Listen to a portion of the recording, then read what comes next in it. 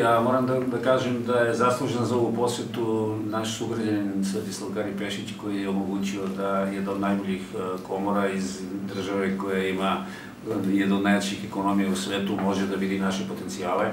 Ideja je da dve komore naprave saradnju. Ovaj, ovaj sad, sad poseta je samo da bi, jedan screening da bi se videlo čime mi raspolažemo i kakve mogu da budu kakvi mogu da budu elementi naše buduće saradnje. Cilj nam je da investitorima pokažemo region, cilj nam je normalno da priroda koja prostoji napravi saradnju sa nemačkim kompanijama. Evo mi ovih dana baš to i radimo, prezentiramo te naše mogućnosti i potencijale. Verujem da ćemo na kraju današnjeg dana da imamo zaključke i verovatno posle toga i da nastavimo na papiru ono šta će biti deo naše saradnje.